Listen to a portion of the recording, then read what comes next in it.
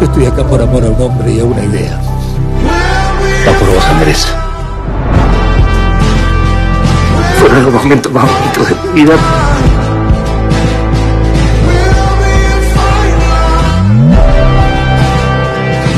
Fueron los momentos más bonitos de mi vida.